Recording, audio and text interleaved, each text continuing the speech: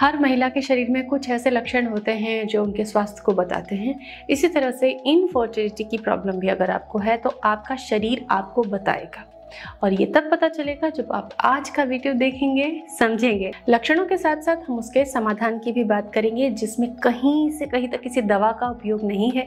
केवल lifestyle और diet therapy का इस्तेमाल किया गया है। हेलो एवरीवन स्वागत है आपका यूट्यूब साहेली चैनल में और आज हम एक इंटरेस्टिंग एक रोचक और महत्वपूर्ण विषय पर बात करने वाले हैं। आपके शरीर में ऐसे कौन से लक्षण होते हैं जो बताते हैं कि आपको इनफर्टिलिटी की प्रॉब्लम है? आइए उन विषयों को समझते हैं और उनके समाधान को भी जानते हैं, जो आप खुद से कर सकती हैं और अच्छा स्वास्थ्य पा सकती हैं और अपनी इनफर्टिलिटी की प्रॉब्लम को सॉल्व कर सकती हैं। सबसे पहली और आज के समय में बड़ी कॉमन प्रॉब्लम हो गई है lack of vaginal discharge vaginal discharge नहीं आता। सही से नहीं आता। पीरियड से पहले डिस्चार्ज आता है। पीरियड के बाद डिस्चार्ज आता है। ओविलेशन टाइम डिस्चार्ज आता है। लेकिन अगर आपको सर्वाइकल म्यूकस नहीं बन रहा या फिर आपको डिस्चार्ज नहीं हो रहा, कुल मिला के ड्राइनेस रहती है आपके निचले अंगों में ज़्यादातर। तो हो सकता है कि कुछ आप मेडिकेशन ले रहे हैं। हो सकता है कि आप तनाव में हैं। हो सकता है कि आपका खान पान सही नहीं है और इसकी वजह से हॉर्मोन्स डिस्टर्ब है। समाधान की बात हम आगे करेंगे। दूसरा लक्षण है, संपर्क के समय दर्द होना ड्राइनेस रहना और बहुत ही अनॉयड इरिटेटेड महसूस करना। तो हो सकता है कि आपके हस्बैंड के साथ आपकी बॉन्डिंग उतनी अच्छी ना हो। आप तनाव में है या कुछ ऐसा मसला है जो इमोशंस को नरिश नहीं कर पा रहा है। तो ये साइकोलॉजिकल भी होता है, लेकिन अगर आपके शरीर में मीनोपॉज के लक्षण समय से पहले आ गए हैं, जो 45 के आसपास होने चाहिए, वो आपको 35 के आसपास भी आने लगे हैं 30 के आसपास आने लगे हैं तो भी ऐसी प्रॉब्लम होती है। तो इसका हल भी हम आगे जानने वाले हैं। ओविलेशन ही नहीं होता। आपको पता ही नहीं चलता कि मेरा ओविलेशन कब हो रहा है, क्योंकि डिस्चार्ज अगर नहीं होगा अगर शरीर में तो आपको कैसे पता चलेगा कि आप ओविलेट कर रही हैं?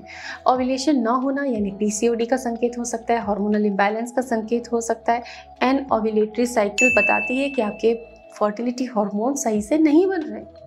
आपके मासिक चक्र, अनियमित पीरियड इसका लक्षण होता है। या फिर शरीर पे इन्फ्लामेशन होना। पेट जो है लोअर एब्डोमेन जो है आपका, जहाँ पे रिप्रोडक्टिव ऑर्गन्स होते हैं, आपको उसमें इन्फ्लामेशन लगता है। आपका वज़न तेज़ी से बढ़ रहा है। कुछ इम्यूनिटी रिलेटेड इश्यूज़ हो सकते हैं, कुछ मेटाबॉलिज्म रिलेटेड इश्यूज़ हो सकते हैं। लेकिन ये बताते बहुत क्लियर है कि आपको समस्या है गर्भधारण करने में। तो आइए, क्या समाधान छुपा है इनका? प्राकृतिक उन पर नज़र डालते हैं। सबसे पहला सोल्यूशन कि अगर आपको वजाइनल ड्राइनेस है, संपर्क के समय दर्द होता है ड्राइनेस रहती है इरिटेटेड महसूस करते हैं बार बार इन्फेक्शन होता है, फटे दूध जैसा, पनीर जैसा, दही जैसा डिस्चार्ज आता है। तो अपने निचले अंगों में आप cold press coconut oil apply करें। दिन में दो तीन बार जब भी वॉशरूम यूज़ करें, उसके बाद अपने बॉडी को ड्राई करें। ड्राई करने के बाद हल्का सा कोकोनट ऑयल दो चार बूंद फिंगर्स पे लेके अप्लाई कर ले अपने निचले अंगों पे। ये माइक्रोब्स को इन्फेक्शन को बढ़ने से रोकता है। टॉपिकली हम इसको यूज़ कर सकते हैं। लेकिन लॉन्ग टर्म में क्या सोल्यूशन है? सबसे पहली चीज़ कि अपना बॉडी पीएच ठीक करें। बॉडी पीएच कैसे पता चलता है? बॉडी पीएच का पता लगाने के लिए आपको खुद में तीन चीज़ें देखनी होंगी। सबसे पहले देखना है कि क्या खाना खाते मुझे भारीपन होता है? अगर हाँ तो बॉडी पीएच डिस्टर्ब है। अगर आपको बार बार एसिडिटी होती है, थोड़ा सा कुछ आपने हैवी खाया, आपको एसिडिटी हुई। तो आपका बॉडी पीएच डिस्टर्ब है। या फिर बार बार आपको यूरिन में इन्फेक्शन होता है तो आपका बॉडी पीएच डिस्टर्ब है। अब इसके लिए अल्कलाइन फ़ूड खाने कुछ इंस्टेंट चीज़ें मैंने अपने वीडियोस में शेयर की हैं। आप लोगों से पहले वाटर की इन्फ्यूजन्स के बारे में बात की है। पत्तेदार सब्ज़ियाँ, हरी पत्तेदार सब्ज़ियाँ अल्कलाइन होता है। हमको अल्कलाइन फ़ूड लेना चाहिए जब आपकी बॉडी में एसिडिटी और तेल, मिर्च मसाले जो बॉडी को एसिडिक बनाते हैं, इन फ़ूड को थोड़े समय के लिए कम कर देना है या बंद कर देना अल्कलाइन फ़ूड लेना ताकि बॉडी नॉर्मल हो। फिर आप अपना सारा बैलेंस डाइट ले सकते हैं। खीरे का, अजवाइन का इन्फ्यूज़न ले सकते हैं, आप सौंफ का पानी ले सकते हैं। सुबह खाली पेट सत्तू का ड्रिंक पी सकते हैं। आप सत्तू के बारे में मैंने बताया कि चने का सत्तू कितना फ़ायदेमंद होता है और उसको आप ले सकते हैं, वो भी हेल्प करेगा। उसमें नींबू का रस वगैरह ऐड करके ले सकते हैं। तो इन चीज़ों से आप बॉडी पीएच ठीक कर सकते हैं। बॉडी पीएच ठीक करने के लिए मेरा अलग वीडियो है।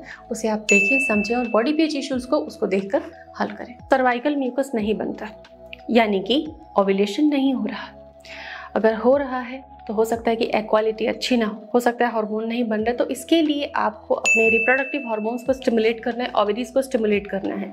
तो इसके लिए कुछ आप इंस्टेंट रेमेडीज़ कर सकते हैं, जैसे दालचीनी की चाय ले सकते हैं रास्पबेरी टी फर्टिलिटी के लिए आपके हार्मोन्स को संतुलित करने के लिए बहुत अच्छी होती है। तो आप रास्पबेरी टी परचेस करके और डेली दो समय या कम से कम एक बार डेली उसका ज़रूर सेवन करें, वो आपके हार्मोन्स को बैलेंस करेगी ओविलेशन रेगुलर करेगी और आपके पूरे हार्मोन्स को सेट कर देगी। इसके अलावा अगर आपको एग बनते ही नहीं है एस्ट्रोजन हार्मोन का स्तर बहुत लो है तो आप सौंफ वाटर या सॉफ्ट ड्रिंक का इस्तेमाल कर सकते हैं ओकरा वाटर का इस्तेमाल कर सकते हैं। ये आपकी इन प्रॉब्लम्स को सॉल्व करने के लिए बहुत ही पोटेंशियल रेमेडीज़ हैं। अगला स्टेप कि अगर इन सारी कंडीशंस के होते हुए आपका वज़न बहुत बढ़ा हुआ है तो सबसे पहले वज़न को कम करें, थोड़ा एक्सरसाइज करें, थोड़े डाइट में कैलोरी कम करें। खाने में उन चीज़ों का प्रयोग करें जिनमें कैलोरी कम हो और जो पेट भरे अच्छे से। इस तरीके से आंवले का यूज़ भी आप कर सकते हैं। वो फैट कटर बहुत अच्छा फैट कटर है नेचुरल और बहुत ही इफ़ेक्टिव होता है। तो अपने वज़न को कम करें, अपने हस्बैंड से अपनी बॉन्डिंग अच्छी करें। फैमिली में जो इशू हैं, जो पर्सनल रिलेशन के इशूज़ हैं, उनको सॉल्व करें। थोड़ा सा सॉफ्ट थोड़ा सा टेंडर केयर थोड़ा सा जेंटल बिहेवियर आपको बहुत सारी चीज़ों को अच्छा कर देता है। तो ये कुछ छोटे छोटे तरीके हैं, लेकिन अगर आपको इन्फर्टिलिटी की प्रॉब्लम है तो अपनी प्रॉब्लम संबंधित वीडियो को YouTube सहेली चैनल पर ज़रूर देखें। उनमें आपको कंप्लीट सोल्यूशन मिलेगा। आप अपनी प्रॉब्लम सिंपली YouTube में टाइप करें, पीछे लिखें YouTube सहेली और हमारा वीडियो उससे रिगार्डिंग आपको रिकमेंड किया जाएगा। अगर ये वीडियो आपको अच्छा लगा तो नीचे लाइक का बटन है, उसे ज़रूर दबाएँ।